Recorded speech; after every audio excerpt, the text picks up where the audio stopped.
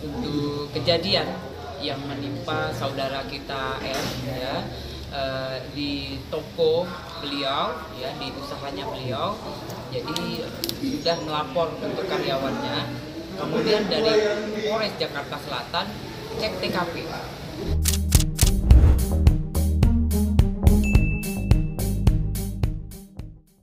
Ya baik, ba- baik terima kasih rekan-rekan untuk eh, untuk kejadian yang menimpa saudara kita R ya eh, di toko beliau ya di usahanya beliau. Jadi sudah melapor untuk karyawannya.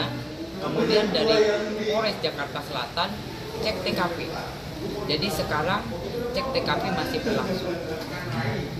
Tadi siapa Bu yang melapor yang datang ke sini? Eh, karyawannya dari saudara kita R satu orang itu udah resmi.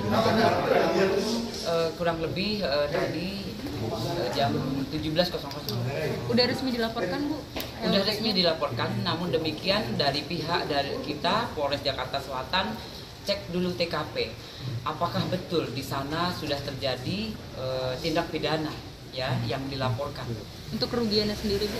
untuk kerugian masih kita cek kembali ya dari pihak Rob- eh, dari pihak saudara kita R lagi menghitung apa saja sih yang hilang atau apa saja yang menjadi kerugian dari perusahaan beliau. Hmm, Barang bukti Bawa barang bukti apa aja bu? Untuk barang bukti untuk sementara ini nanti cek kembali nanti kita cek kembali Ibu tadi ada berapa karyawan yang melaporkan ke sini satu orang. satu orang. Tidak Ada lanjut. juga mungkin mengenai uh, CCTV di uh, apa internet oleh uh, korban mungkin. Ya betul betul itu eh, itu bisa jadi barang bukti yang eh, bisa faktanya jelas ya.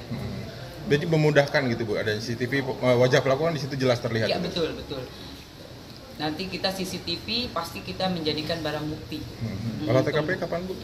Nanti kita e, berkoordinasi dengan penyidik. Kemudian kita e, mencari saksi-saksi yang bisa melihat atau mendengar.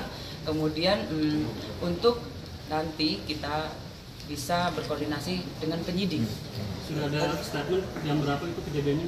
Dari pihak pelaku? Nanti cek kembali setelah dari cek TKP ya nanti untuk yang melapor pasti eh, melaporkan apa saja yang bisa dilaporkan ke Polres Jakarta Selatan. Misal dari kejadiannya kapan, jam berapa, kemudian pelakunya siapa kan nanti bisa kita lihat bersama dari CCTV dan saksi-saksi yang melihat atau yang mendengar kejadian eh, tindak pidana yang dialami eh, saudari kita R.